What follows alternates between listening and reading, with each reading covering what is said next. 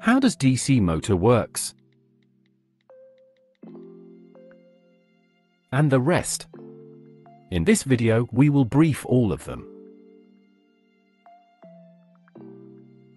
In our previous videos I talked about permanent magnet DC motors. Do watch it out. Don't forget to subscribe, like and share.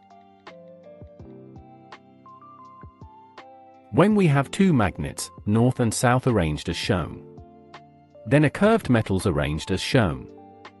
These curved metals will form commutator, with brushes leading the current with the ends of these commutators attached with conductor coils as shown. Applying the DC current, magnetic field will be formed around the conductor coil. Also electric field and torque in the direction. Hence the rotor will rotate as shown. But this rotation is not quite uniform. Since it reaches a point when the torque approaches zero.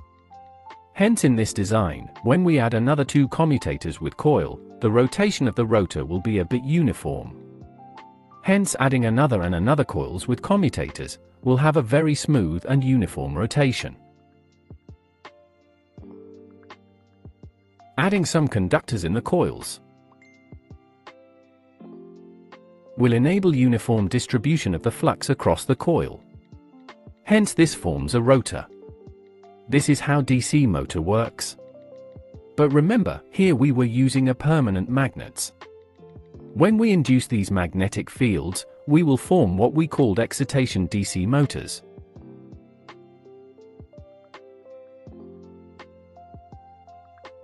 When we wound the stator a motor with coils, such as to form south-north fields, the motor will run as usual. Since we supplied a separate DC power, we form a separately excited DC motor. Others are self-excited DC motors. All these will be explained in the next videos. And if you don't want to miss such information of what separate and self-excitation entails. And also, I hope you found these videos informative and if you did, kindly subscribe, like and share. Remember these motor models are available on CGTrader. See you in the next one.